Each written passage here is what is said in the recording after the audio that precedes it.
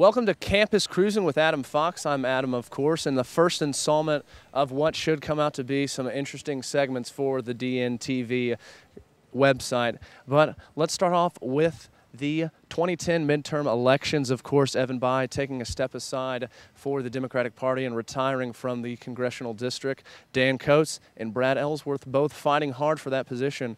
Elections are in about six weeks, and I'm excited. But let's go see what these Ball State students know about their politics and who they're going to be voting for. Are you guys planning on voting this year?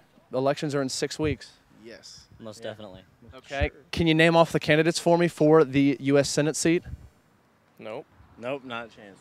Not yet. Nope. The elections for the 2010 midterm are in six weeks. Are you girls planning on voting? Yes. Yes. Yes. Are you all registered? Yes. Yes. Yes. Okay. Now, what comes to mind when I say Brad Ellsworth? I have no idea. Nothing. Nothing. What about Dan Old Man Coats? Nothing. Nothing. Like senator? He's running for senator? Yes. Okay. All right. Now, what is the first thing that comes to mind when I say the name Dan Coats? Who the hell is that? Same. Do you know who's running? No, truthfully. Does Dan Coats ring a bell? Yeah. Okay. Does Brad Ellsworth sound even better? Sounds familiar. Do you know who Dan Coats is? No, I don't. Do you know who Brad Ellsworth is? No. Does the name Dan Coats ring a bell? No. It reminds me of Coates. Does the name Dan Coats ring a bell?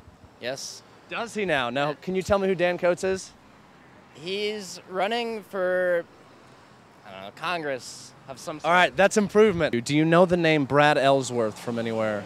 Um, I do, but I don't know it that well. How about Brad Ellsworth? Yes. Okay. Now, can you say which party each one represents?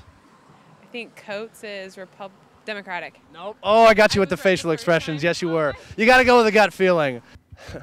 well, Ball State, I don't know how we scored on the test, but here's a statistic for you to take home with you. Only about 35% of the voting population do vote in midterm elections. So eh, I'd say we were pretty close to that percentage here on campus. So I don't want to hear any old men saying, you kids don't know what you're talking about, because guess what? They probably don't either. Once again, this is Adam Fox with Campus Cruise, and hope to see you next time. DNTV.